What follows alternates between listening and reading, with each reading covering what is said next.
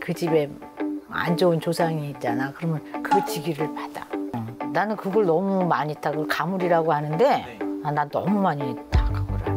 아기 때부터. 편하게 한번 질문을 드려볼게요. 응. 어, 선생님의 점사 보는 방식이 되게 조금 색다르더라고요. 왜냐면은 보통 다른 분들 같은 경우는 점사 보러 가면은 이제 생년월일이라든지 이름을 위주로 넣고 점을 시작을 하잖아요.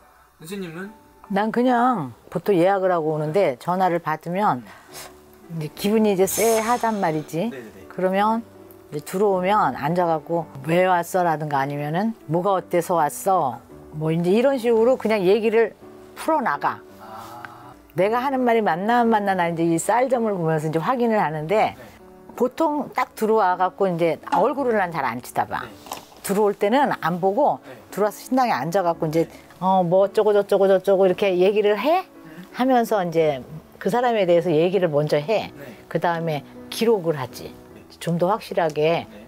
어, 안 맞나인지 또 확인 사살을 해야 되니까 이걸 딱 들고 당신에 대해서 이제 얘기를 하다가 뭐 누가 이제 뭐 가령 뭐이가 잘못됐다 그러면은 뭐가 어때 뭐가 어때 이제 이러고서 얘기를 해준다고 그러면은 선생님 같은 경우는 점사를 보실 때 생년월일이나 이름 따로 처음에는 아, 필요하진 않아요. 그냥 보면 그냥 이제 얘기를 먼저 하니까. 그러니까 들어와 당신이 보고 싶어 하는 거가 있잖아 나한테 와- 와서. 어, 점을 보려고 왔던 게 있잖아. 그러면 그 얘기를 내가 먼저 해버린다니까.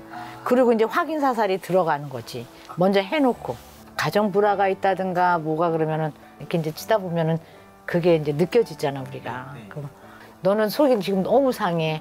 집안에 우환이 있어. 뭐 이렇게 하면서 이제 얘기를 풀어나간다니까. 아, 응, 난 그런 식으로 봐 전화로 예약을 하잖아요. 응. 전화를 예약하고 내일 오기로 한 손님이에요. 응. 근데 오기 전부터 나는 벌써 아- 몸이 안 좋아 뭐가 이렇게 지기를 받아 예를 들면 뭐 위가 안 좋은 아픈 사람이면 음, 내가 막 아파. 전날부터 전날 이제 전화 예약 받으면서부터 그러니까 예약을 해놓고 안 오는 사람들도 있거든. 네네네. 그러면 아주 몸만 시들시들해진다니까.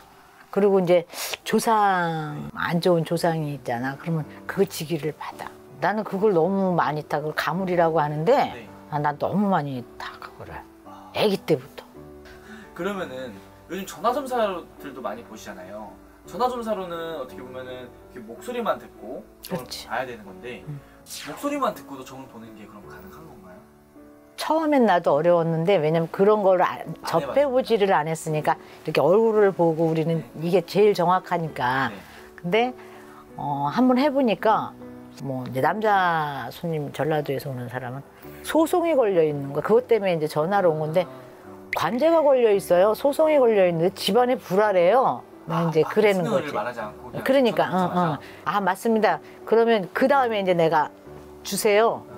나이랑 이름이랑 정확하게 봐야 되니까 전화는 정확해야 되잖아. 네. 근데 일단 운 항상 나는 뭐든지 일단 운을 띄워. 음, 생년월일이나 이름 듣기 전에 먼저 운을 먼저 띄워줘 그 사람에 대해서 팩트를. 어, 운을 먼저 딱 잡고서 그 다음부터 이제 풀어나가.